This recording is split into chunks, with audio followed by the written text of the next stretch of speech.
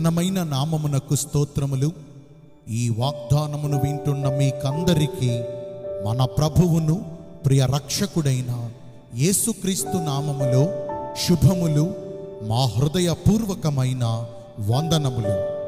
ఈరోజు మీ కొరకైన దేవుని వాగ్దానము యోబు గ్రంథము ఎనిమిదవ అధ్యాయము ఏడవ వచనము. అప్పుడు నీ స్థితి మొదట కొద్దిగా ఉండినను తుదను నీవు మహాభివృద్ధి పొందుదువు.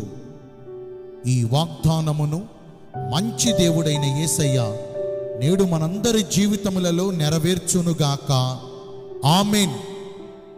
సర్వశక్తివంతుడగు దేవుడును ఇస్రాయేలునకు కాపరియగు పరిశుద్ధ దేవుడైన యహోవా నేడు మన మొర్ర ఆలకించి ఇక రాబోవు కాలమునందు మన పరిస్థితులన్నిటినీ మన స్థితిగతులన్నిటినీ మార్చి మనలను ఆశీర్వదించి ఇప్పుడు కొంచెముగా ఉన్న మన పరిస్థితులను మహాభివృద్ధి పొందునట్లుగా దీవిస్తారు.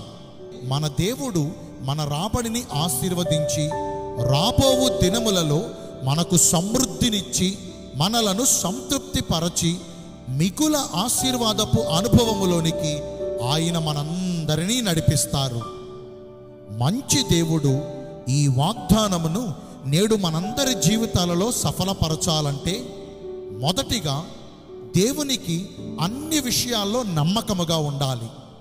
మనము కొంచెములో నమ్మకముగా ఉంటే ఆయన మనలను ఆశీర్వదించి అనేకమైన వాటిపైన అధికారులుగా చేస్తారు. రెండవదిగా దేవుని దృష్టికి పవిత్ర హృదయులమై పరిశుద్ధమైన ప్రవర్తనను కలిగి జీవించాలి. ఈ లోక మాలిన్యము మనకు అంటకుండా ఎప్పటికప్పుడు మన జీవితమును జాగ్రత్తగా కాపాడుకోవాలి. నేను మీ అందరి కోసం ప్రార్థన చేస్తాను. పరిశుద్ధుడును ప్రేమ కలిగిన మా ప్రియ పరలోకపు తండ్రివైన దేవా మీ కృప కలిగిన ఘనమైన నామమును బట్టి నిండు మనసుతో కోట్ల కొలదిగా మీకు మా కృతజ్ఞత స్థుతులు స్తోత్రములు వందనాలు చెల్లిస్తున్నామయ్యా. మా స్థితి మొదట కొద్దిగా ఉండిన అది మహాభివృద్ధి పొందినట్లుగా చేస్తానని వాగ్దానము ద్వారా తెలియజేశారు. వాక్యానుసారముగా నడుచుకుని ఈ వాగ్దాన ఫలములను పొందుకునే భాగ్యమును నేడు మాకందరికీ దయచేయండి.